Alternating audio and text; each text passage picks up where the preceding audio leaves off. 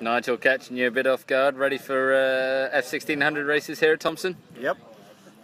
What are you thinking?